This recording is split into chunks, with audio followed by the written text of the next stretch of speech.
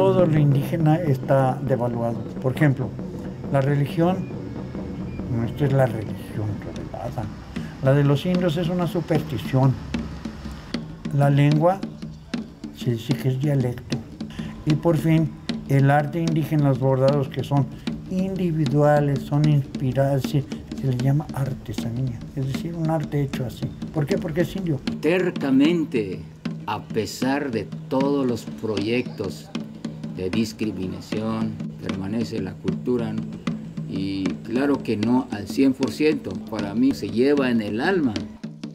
Yo siempre he considerado que es este, algo, por decir algo tonto, avergonzarnos de, nuestra, de, de ser indígenas, al contrario, debe ser motivo de, de orgullo.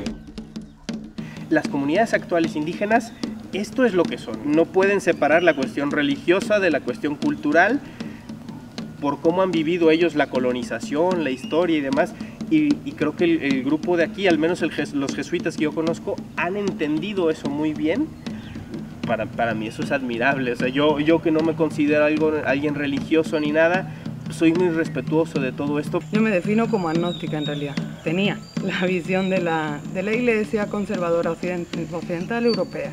Llegando a constatar que no, no estamos hablando de caridad, estamos hablando de justicia social, y estamos hablando de dignidad, y estamos hablando de una serie de valores compartidos totalmente. El problema que está viviendo esta comunidad, una comunidad indígena, es que se está sintiendo amenazada. La gente que es la iglesia aquí está eh, tratando de luchar por una vida digna.